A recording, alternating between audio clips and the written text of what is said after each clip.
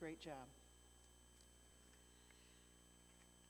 In Israel, in ancient Israel, there were two sins that could not be forgiven by ritual sacrifice. One was murder, because that was a betrayal of life which was given by God. The second sin that could not be forgiven by ritual sacrifice was incest or adultery, because that was the betrayal of an intimate relationship that was also given by God.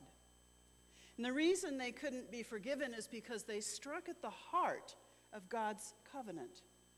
These sins were more than simply breaking the law, they were seen as a rejection of God's love and a rejection of God's relationship by the rejecting of the way God set for his people to live and for the purpose of that living. You remember the great King David of Israel, one of the greatest kings that Israel has ever seen? He was called God's beloved. He committed both of those sins.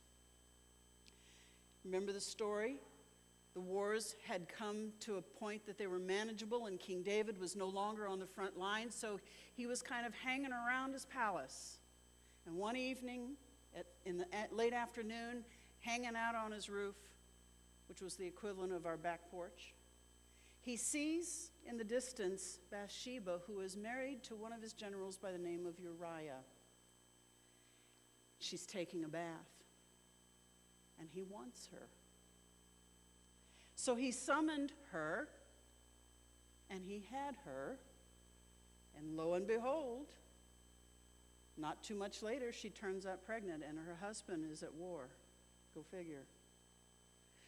So David tries to make sure nobody knows what has happened, and he sends for Uriah to come home, and he tries to entice Uriah to go in to be with his wife, welcome home, enjoy the time.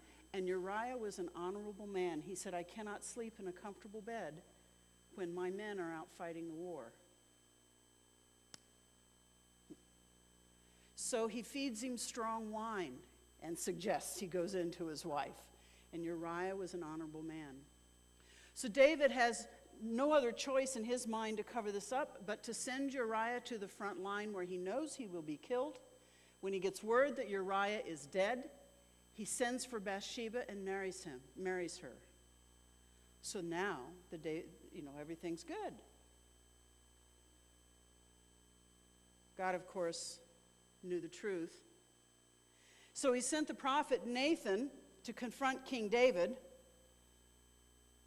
And as Nathan confronted him, David's excuses and justifications and denials began to fall away, and his heart was convicted of what he had done. But there was no way to fix these things with God because, according to the law of Moses, there was no sacrifice that would pay the price. You see, now David had a real problem. But Nathan, speaking for God, helped David appeal to God's mercy, to throw himself on the mercy of the court, so to speak. And the result of that throwing of himself at the mercies of God is recorded as Psalm 51, which we're going to read later. In fact, if you want to take it out, take a look at it. It's on this insert. That's Psalm 51. So, Psalm 51 becomes for us a wonderful guide of how do we approach God during those times when we feel the furthest away from God. Whether it's something we've done or something that's happened to us, whatever it is that's separating us from God, Psalm 51 becomes a guide. So, as you look at Psalm 51, let's take a look at how David approaches God after he has done the two unforgivable sins by sacrifice. Verses 1 and 2 are at the very beginning Have mercy on me, O God because of your unfailing love. David appeals to God's covenant love, a promise that God will always love us forever, no matter what. A promise that we often break to God, but God never breaks for us. David has faith in God's unbelievable loyalty for him. Because of your great compassion, blot out the stain of my sins, David writes. The Hebrew word for compassion or mercy is hesed, and that word comes from the word for womb, like a mother's womb. Because of your great mother love, because of your great compassion, blot out the sins, the stain of my sins. The intimate, protective, unconditional love that David stands before God knowing that he can have hope because of this kind of love. David then continues his plea by confessing that he has indeed rejected God by taking Bathsheba as his own, by killing Uriah. And in so doing those two things, he breaks four out of the last five of the Ten Commandments. You know what they are? You shall not murder, you shall not commit adultery, you shall not bear false witness against your neighbor, you shall not covet your neighbor's wife. All four. And as King David faces God standing in his own sin, God becomes radically real to him. And he writes, For I recognize my rebellion. It haunts me day and night. Now, this is more than a specific remembering of something that he did. It's a recognition that we as human beings are a hot mess. We're, we're just a mess.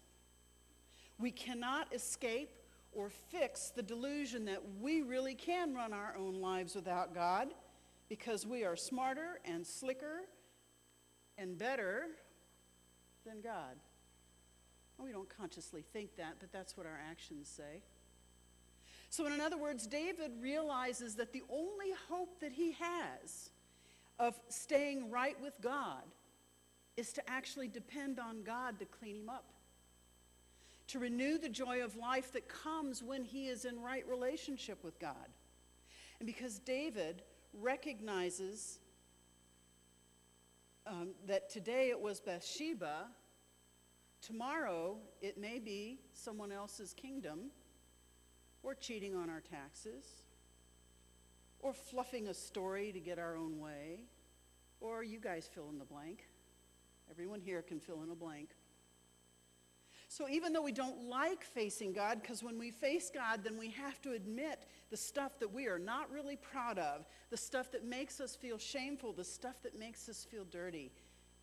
But even though we don't like facing God, it is the only hope we have to be made whole, to be restored in a relationship with God and with others, because we cannot fix ourselves. We cannot fix ourselves. When I was teaching confirmation, one of my favorite verses comes from Romans 7. You can look it up. And it goes something like this I do what I do not want to do, and I do not do what I do want to do. Who will save me from myself? Thank God for Jesus Christ. We cannot fix ourselves. David tried, did he not? How'd that work for him? How does it work for any of us? So David does the only thing that he can do to be whole again. He begs for mercy. That's in those first couple of verses. Have mercy on me, O God. He confesses that he has rejected God. For I recognize my rebellion. It haunts me day and night. And then he asks that God deliver him. But you desire honesty from the womb, teaching me wisdom even there. Purify me from my sins, and I will be clean. Wash me, and I will be whiter than snow.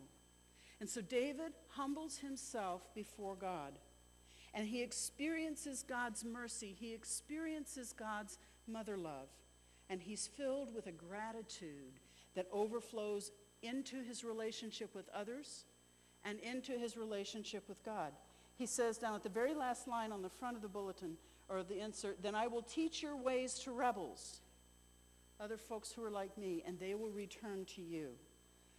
Forgive me for shedding blood. Is that not relationship with others? Unseal my lips, O Lord, that my mouth may praise you. I will sing of your forgiveness. You will not reject a broken and repentant heart. We're not so different from King David, are we? There is not a person in this sanctuary who has, has or ever will live a sinless life. If you're here where you have lived a sinless life and expect to continue to do that, raise your hand. Exactly. Every time we step away from God, and every time we step away from God's ways, we are in essence rejecting God and His love. Lent is a time of reflection into our inner selves, a time to reflect on who God is, who we are and who we are not, and what the condition of our relationship with God is like. Lent is not simply a time of somber, chest beating confession and pain, it's the very pathway to restored joy and to resurrection life. It is a journey of hope that is launched from a firm foundation of faith, knowing that God will receive us, even me, when we truly throw ourselves on the mercy of the court. Jesus, remember me when you come into your kingdom. We can go through the motions tonight, and we can leave this sanctuary with a very pious black cross on our foreheads. Or we can begin our Lenten journey facing God on our knees and receive the hope of the cross, the joy that is found in God's mercy, and the promise of new life. The sacrifice you desire, O God, is a broken spirit. You will not reject a broken and repentant heart. O Lamb of God that takes away the sins of the world, have mercy upon us grant us your peace.